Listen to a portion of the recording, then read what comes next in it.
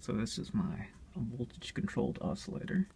Right now it is off. I got the speaker there as well.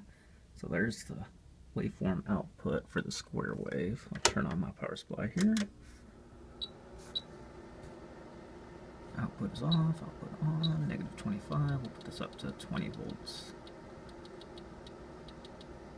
20, do for 25 positive, this 20 volts.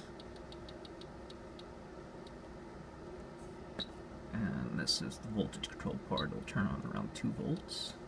Let's go to 2 volts, over to the side part. And uh, you can see we've already got some waveform output. I'll go ahead and put this up to 6 volts. This one's limited to 6 volts out. There's a square wave out. As you can see, as I turn down the voltage, waveform changes, which is good.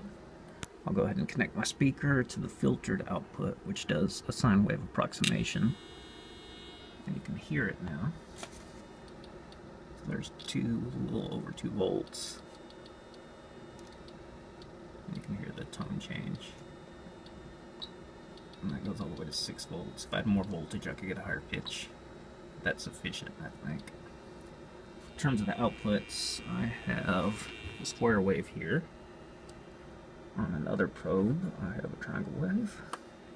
So there's a triangle wave. And what we're listening to is sine wave filtered output. Oh, if I could keep it connected, you can see it doesn't look all that great. I'm trying to get a get on this leg that I actually put there for it.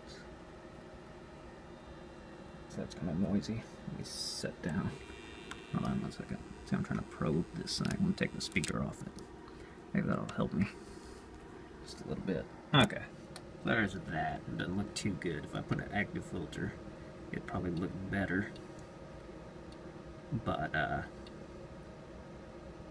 you know, filtering a square wave into a sine wave is probably not the best way to do it. There's probably a better sine wave for a sine wave generator versus square wave, but it's voltage controlled and it seems to work, which is good enough for me.